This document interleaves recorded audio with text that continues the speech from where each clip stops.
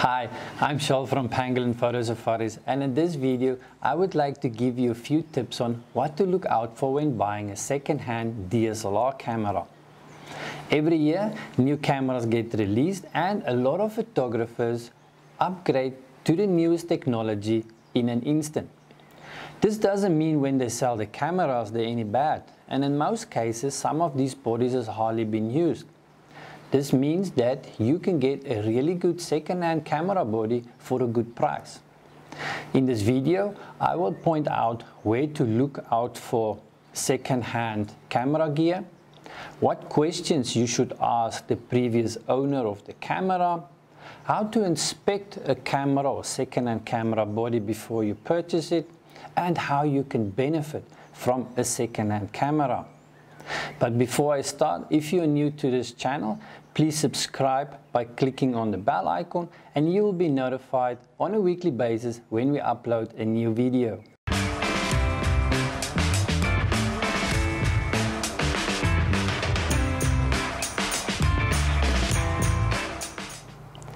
Now you might ask, why should you buy a second-hand camera from someone you don't know?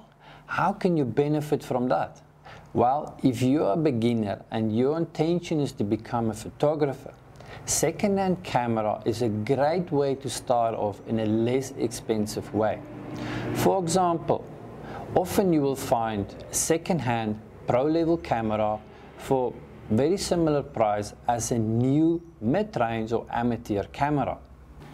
Like this Nikon D500, which is an excellent pro-level camera that sells secondhand for just over $1,000, whereas a new Nikon D7500 body that is less advanced costs basically the same amount. Or maybe you are a student and have a small budget, but still want the quality of a pro level camera. And lastly, second-hand camera gear is also great for second body as backup. So where can you find second-hand DSLRs?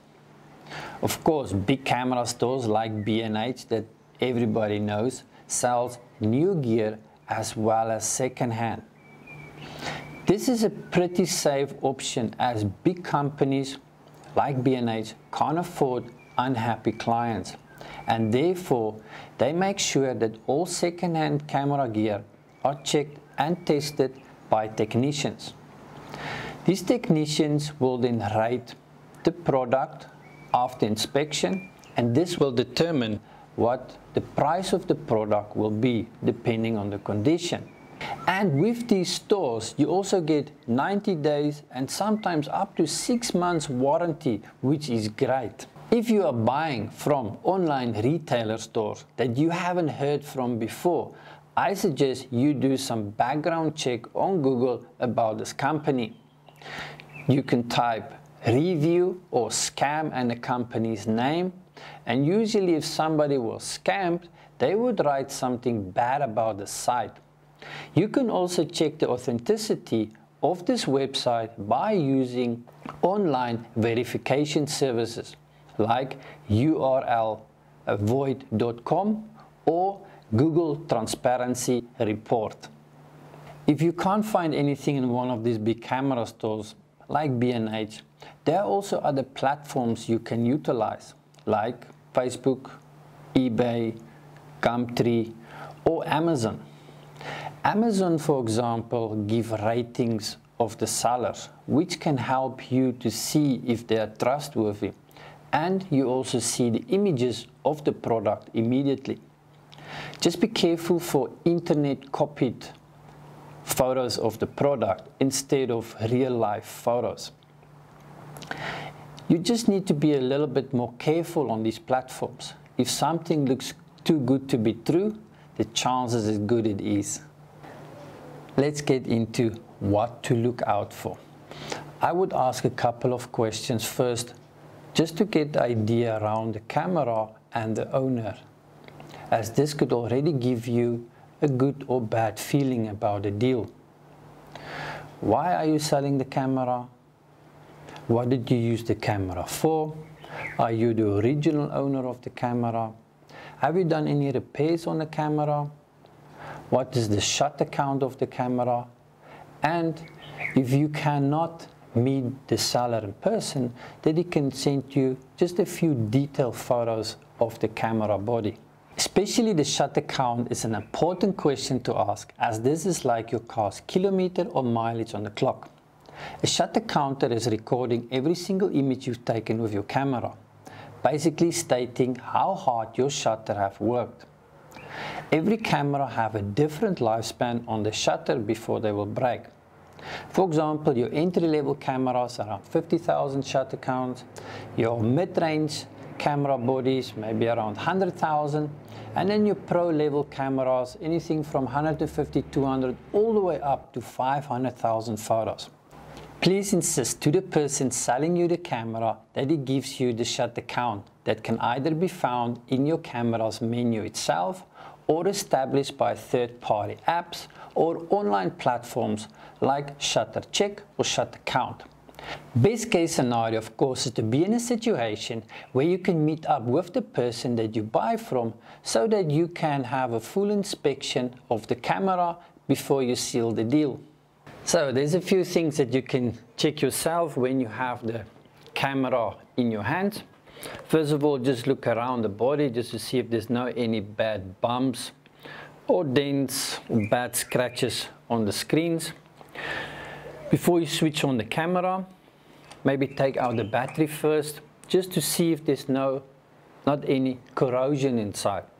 Signs of that means maybe water damages, so that will be important thing to know. You can then switch on the camera, see if the display on top is working and the one in the back. Maybe turn all the wheels on the top and on the back, see if they're working properly press all the buttons. So these buttons, when you press them, should give you some indication on the screen if they're working. Maybe go through all the manual settings here just to see if they all are working. If you have a flash, maybe go just see if the flash at least pops up. Surely you'll have a card slot inside. Some cameras might have two. Make sure that both are working. And then maybe a good thing to take with you if the seller maybe doesn't have it already with, is to take a lens with. So the idea with the lens is that you can see if the connections is working properly and to test the autofocus. Although the autofocus motor is inside your lens, you will see when you, in front of your camera you have these copper pins. Now these copper pins is giving the signal between the lens and the camera. So if they are badly damaged, then you might, uh, you won't have any connection between the lens and the camera. This means that your autofocus probably won't work. So you can then look through your viewfinder also to see if the viewfinder is nice and clean as it, this is also a very difficult thing to clean so make sure that this is nice and clean you can see through autofocus make sure you go focus something far, something close to see how quickly the focusing is working or is it working at all. Then take a couple of shots. Maybe you can go to your fast shooting as well just to see if it is going fast. You don't hear anything bad there. You can also then shake the camera and see if find anything that's loose. Another thing that you can do is put your camera also at f16 or 22 and look into the sky, take a few photos. This exercise, you can then see if your sensor is very dirty. If you have a lot of spots on the picture, it means you have a dirty sensor that needs to be clean. So either you can ask the seller to reduce the price so that you can do it yourself or insist that the seller do it then for you. So these are just a few things that you can check yourself when deciding on buying maybe a second-hand camera. If there's any red flags, things that doesn't look right to you, maybe reconsider and looking to buy maybe another camera. Also insist on the seller that always meet in a public place, maybe where there's a more people, a lot of people, it was always safe. And then if you've ever bought a second-hand camera, let us know your experience in the comments down below if you have maybe any tips that involve our topic. Thank you for watching and we'll see you soon.